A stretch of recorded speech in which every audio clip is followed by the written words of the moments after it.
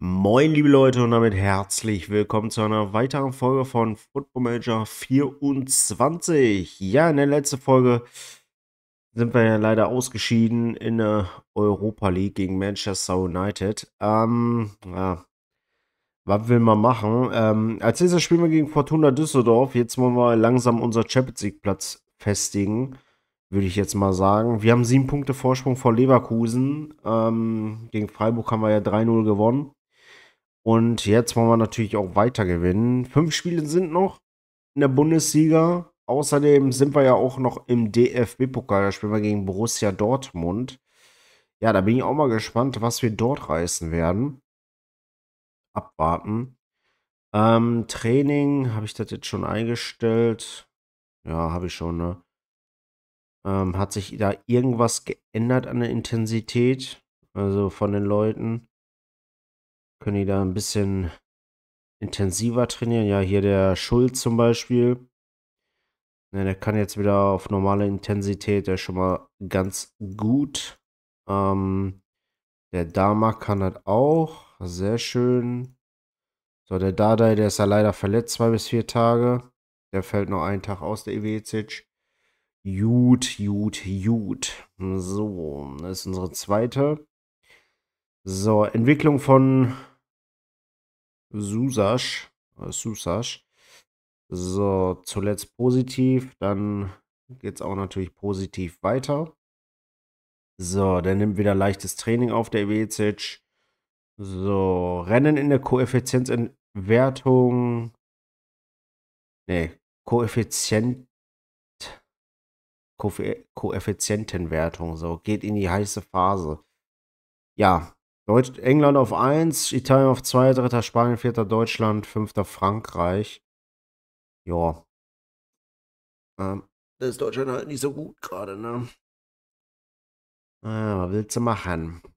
Ähm, so, gucken wir mal hier wieder, ne, ob sich wieder was geändert hat. Sieht aber, glaube ich, nicht so aus. Ähm, ich denke mal, die meisten haben immer noch halbe Intensität, was die machen müssten.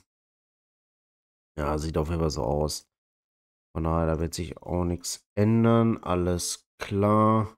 Na gut, wir haben noch den gleichen Tag, ne? Davon ab. So, Dortmund muss gegen Schalke in der Bundesliga. Gucken wir das Spektakel doch mal hier an. Also mal gucken, wie das Ergebnis aussieht am Ende.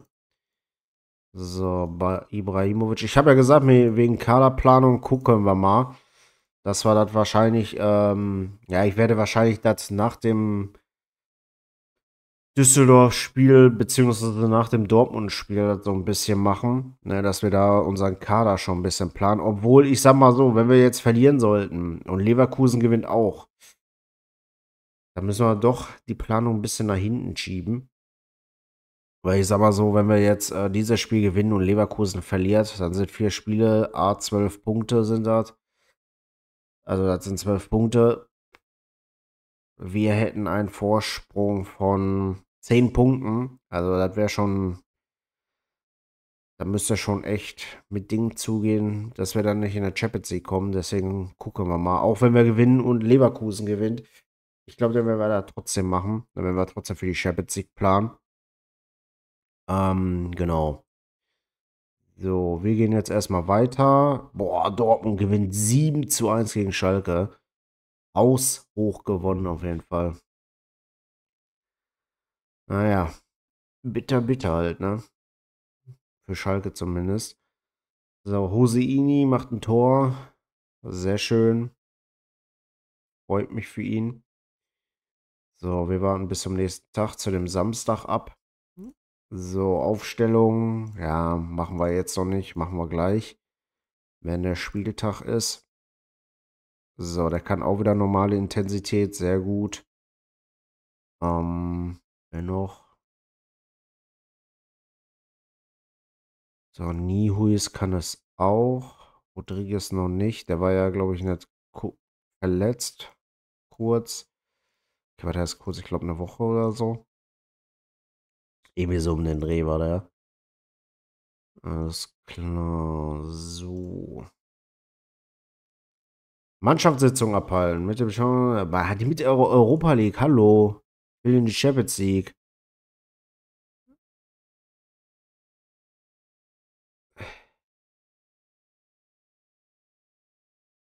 So, bin angespornt. Jugendabteilungsleiter zufrieden mit Schermaks Fortschritten. Hm.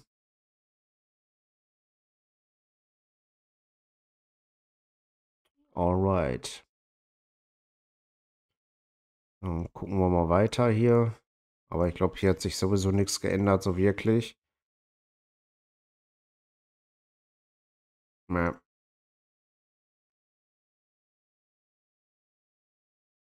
Nope. Gut, dann gehen wir mal weiter. Gehen wir bis zum Spiel jetzt, ne? Also, ich denke mal nicht, dass sich da was ändert jetzt. So, Kirsten berechtigt für einen Profivertrag. Ja, der 17 Jahre jung, ne? Ist auch ein guter Spieler eigentlich. Also, der hat auf jeden Fall schon einiges an, ja, so ein bisschen an Marktwert. So, da können wir ja mal ein bisschen gucken. Perspektivspieler, Talentverbot, Durchbruch, Ergänzungsspieler, sofort, ne? Ja, können wir machen. Alles klar. So, boah, das mit den Gehaltserhöhungen, ne? Ich weiß nicht, zählt das? Äh, das frage ich mich schon die ganze Zeit, ne? Wegen die Ligaspiele. Ist das gemeint von der, äh, in der ersten Mannschaft? Ja, ne? Ich meine ja.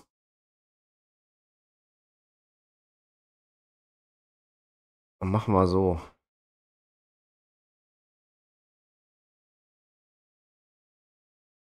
Hä?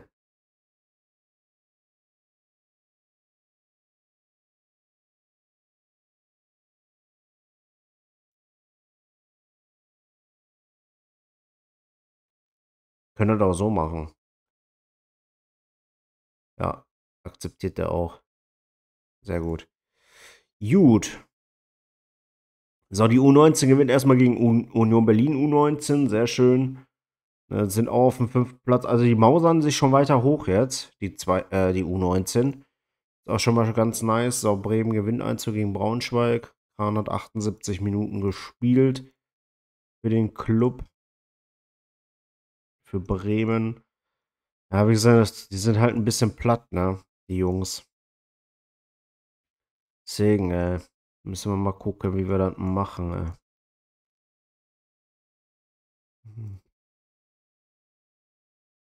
Iwecic macht halb, weil er ja aus der Verletzung kommt.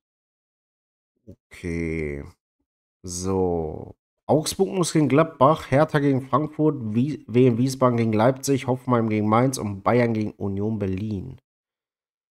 Na, mal gucken, was die da reißen, die Mannschaften. Unsere zweite muss gegen Aue ran.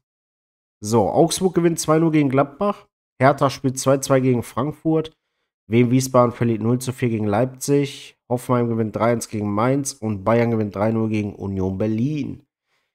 So. Stand der Dinge. Ja. Sogar Frankfurt könnte uns noch einholen. Aber außer wir gewinnen jetzt. Ne? Dann sind wir auf jeden Fall mindestens schon mal Fünfter. Das kann man auf jeden Fall schon mal sagen. Ähm, unsere zweite verliert 2-0 gegen Aue.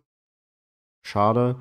So, Kohl hat 8 Minuten gespielt. Moe hat 11 Minuten gespielt. Ja. Wie gesagt, die werden auch bei den Clubs nicht glücklich, um ehrlich zu sein. Aber, naja. Wie gesagt, war halt ein Fehler, den Kohl da wegzureißen. Aber wie gesagt, ich, ich dachte erst, ähm, dass. Hier sag mal schnell. Dass der Kohl, äh, dass wir den doch brauchen. Aber ja, dann haben wir ja doch den Ibrahimovic noch bekommen. Weil erst waren wir ja an einem anderen Spieler dran, der hat dann abgesagt und dann. Wie war das nochmal? Ist auch egal. Ja. Ne? Ähm, Spieler der Woche, jo. Ey, wir haben noch gar nicht gespielt. Kannst du da schon Spieler der Woche sagen? No, Dortmund. So, Leverkusen muss gegen Köln ran, wir gegen Düsseldorf, Freiburg gegen Wolfsburg. Ähm, mal gucken, was Leverkusen macht. Ne? Also wenn die verlieren sollten, äh, schon ganz gut eigentlich, aber werden wir ja jetzt sehen. Ne? So, Gerkens hat beim 3-0-Niederlage 90 Minuten gespielt. Ich spiele in der zweiten Bundesliga Stuttgart, ne? Fran Brederode auf dem Weg zu Lyon. Ah ja. Wie gesagt, ey, wir, wir müssen sowieso gucken bei unserem Kader, ne? Wer, äh, wo wir da Angebote kriegen und so. Ne? Kann auch sein, das war erst am Anfang der Saison. Ähm, also am Anfang der nächsten Saison das erst planen können, so richtig. So, Buchmann. Das ist noch nicht 100 Prozent, ne?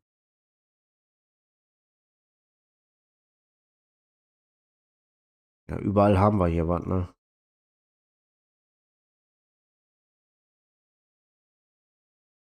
Aber haben jetzt eh das Spiel, ne? Von daher braucht, aber lohnt sich das sowieso da nichts zu ändern. So, Dardai. Der ist halt noch verletzt, ne? Deswegen kommt der Dama rein. Der kommt aber mit, ne? Der ist jetzt nicht ganz fit, aber so, Williams kommt auch mit. Äh, für den Bierleck. Der Bierleck, den stellen wir wieder für die zweite Mannschaft zur Verfügung. So, 90 Minuten. Alles klar, Reis, Dama, Nio ist, ja, ja, ja. Ja, müssen wir hier gucken. Ne? Gondre ist zum Beispiel nicht fit. Ne? Da kommt der Williams rein. Ähm, ja, Oliveira ist auch nicht ganz fit. Ne? Das ist jetzt der Haken. Ähm, Reis ist auch nicht fit. Wer könnte denn da noch spielen? Der Clemens, Nihuis.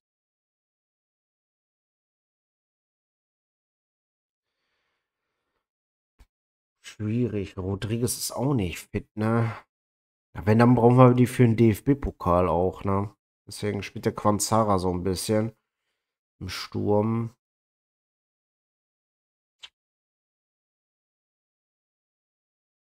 Wie gesagt, der Oliveira ist nicht fit, der Reis ist nicht fit. Das ist natürlich blöd, ne?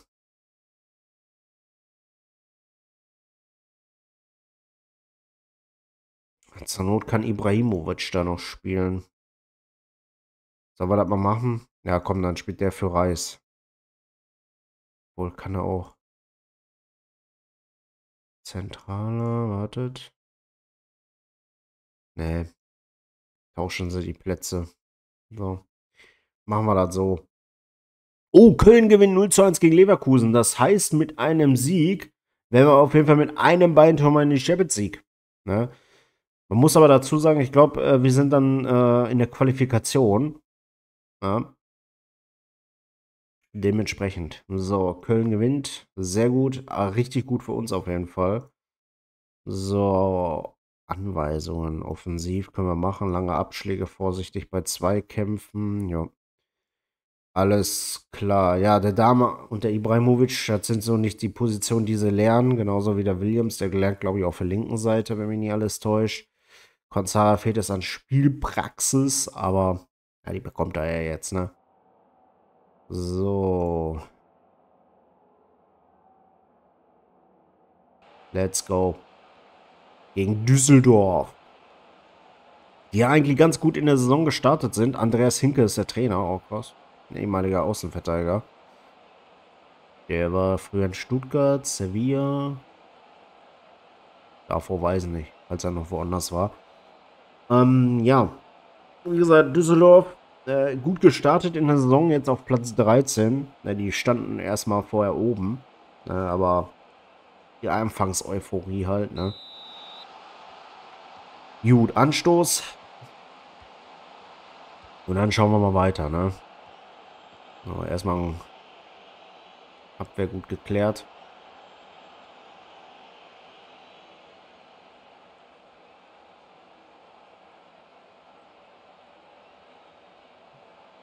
So, jetzt vielleicht mal eine Chance. Buchmann, Ibrahimovic. Wieder der Buchmann.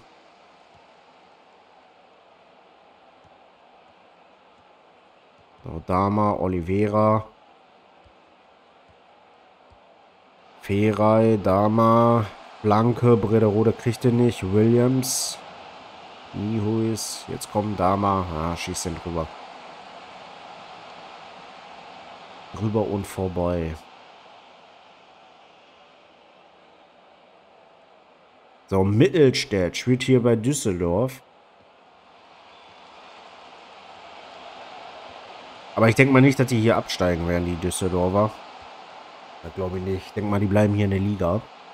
Also die bleiben in der ersten. Oh, faul an Feray. von Engelhardt. Gibt aber keine Karte. Hätte eigentlich, wäre eine Karte würdig gewesen. Aber gut. So, Williams jetzt mit dem Einwurf. Ibrahimovic. Buchmann.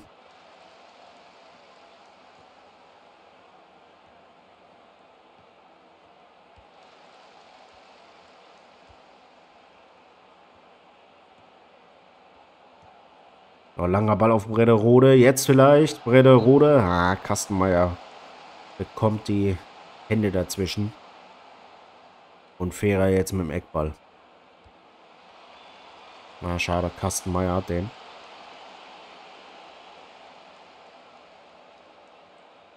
So, jetzt wieder Eckball. Dama. Komm schon. Danke. Ja, Nihu ist jetzt. Perai. Ja, schade. Ja, Chancen bekommen wir auf jeden Fall. Ne, auch wenn das jetzt nicht so viele waren. Drei Schüsse waren das bis jetzt. Na, jetzt kommt Düsseldorf mit Dordevic. Joa. Blanke. Boah, Skarke mit dem Kopfball. War das Skarke oder Starke? Habe ich jetzt nicht richtig gesehen. So, Ernst. Ja. Dama. Jetzt vielleicht Ferai. Komm. Auf Panzaro und der macht die Bude. 0 zu 1. Jawohl, sehr schön. Der Quanzara. Oh. Das sah so aus, als wenn er sich verletzt hätte oder so. Das sah so komisch aus. Hier mit der Vorlage auf jeden Fall. Sehr gut, sehr gut, sehr gut. Ja, der Quanzara, der ist auch ein guter Stürmer. Auf jeden Fall. Mittelstedt kriegt die gelbe Karte. Dama mit dem Freistoß, der schießt. Ja, rechts vorbei. Ähm, ja, wie gesagt, der ist ein guter Fußballer auf jeden Fall. Äh, nur halt, der bringt nicht konstant seine Leistung. Das ist halt die Makel bei dem. Aber der war jetzt auch länger verletzt. Ne? Da muss man auch jetzt so sehen. Aber wie gesagt, der kommt zurück und macht direkt die Bude. So, Feray jetzt nochmal. So, Ibrahimovic schießt aus der zweiten Reihe, aber leider drüber. Wenn einer da kann, dann Ibrahimovic auf jeden Fall. Aber Reis kann dann auch. So, Appelkamp. Jetzt hoher Ball. Ja, Kranzara köpft den raus, aber halbherzig. Da kann natürlich auch noch ein Tor passieren. Ne? Wenn man so gute Spieler hat, die äh, aus der zweiten Reihe schießen können. Ja, aber Düsseldorf hat er bis jetzt vier Schüsse, aber noch kein aufs Tor. Also die schießen und schießen. Oh, Oliveira hat fast alles, hat anscheinend alles gezeigt. Ja, Problem ist, wir können da nicht wechseln. Können wir schon. Ähm, naja, wir gucken mal. Zweite Hälfte, ab geht's.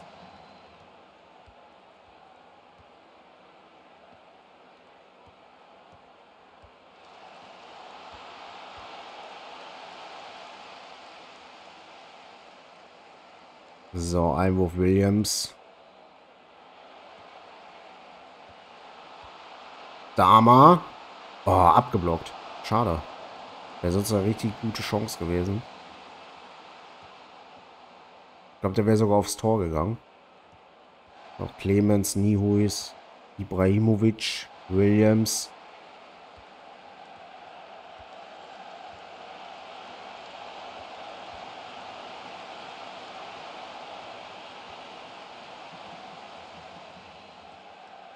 So, Brederode. Schade.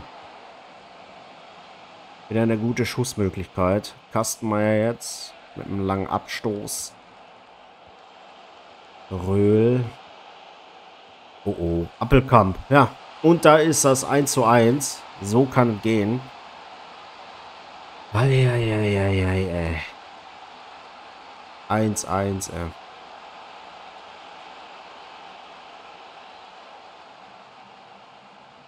Muss doch nicht sein, Leute.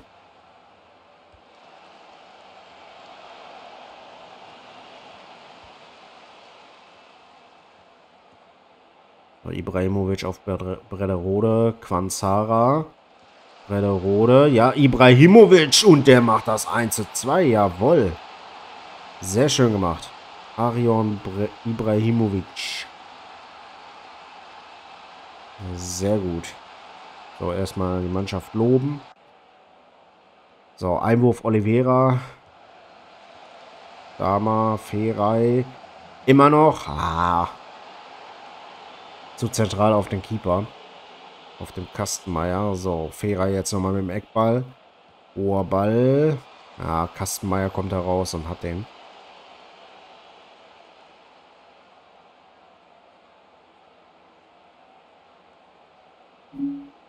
Auf dem Mikrofon sind ein paar Flusen.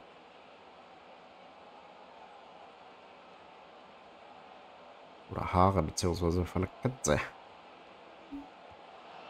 So, Williams. Dama, Ferai. Panzara. Ah. Tanaka holt sich den Ball. Zwonarek. Blank. Joa.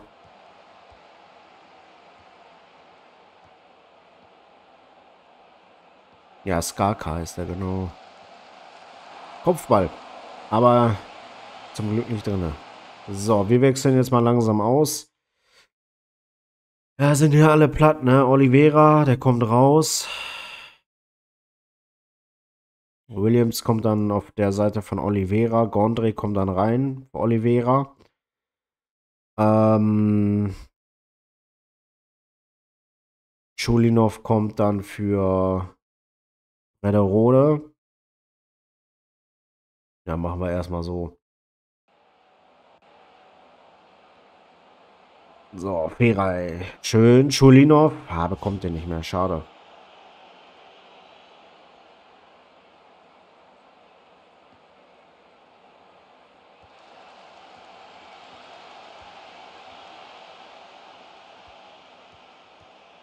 Ah, sehr gut gemacht, Schulinov.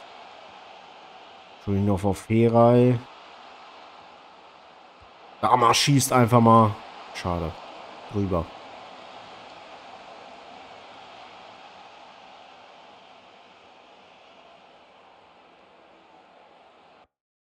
So, wir wechseln mal aus. Mai kommt für Buchmann rein. Schulz kommt für Niehuis. So, ein Wechsel haben wir dann noch. So. Ja, da mal wechseln wir, glaube ich, auch gleich aus. Dann packen wir wirklich den Reis rein. Ja. So, Eckball für Düsseldorf. Ja, Ernst hat den. Sicher. Anscheinend ist ja das Highlight nicht vorbei. Quanzara ja, bekommt den nicht. Dama, Chulinov. Ja, sehr gut. Ferai, Ferai macht den Deckel drauf. 1 zu 3. Jawoll. Das müsste eigentlich schon den Sieg bedeuten. So, wir wechseln jetzt nochmal aus. Wir sagen, der Reis kommt für ja, Dama rein. Ja, genau. Machen wir so. Nur acht Minuten sind noch. Gondre jetzt mit dem Einwurf Schulinov, Gondre.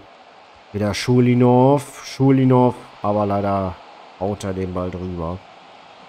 Schade. Schade. So, ich würde auch sagen, wir spielen jetzt eher ausgewogen. Ja. Können wir ruhig umsetzen. Ein paar Minuten. Lang früh schlagen, glaube ich, war das.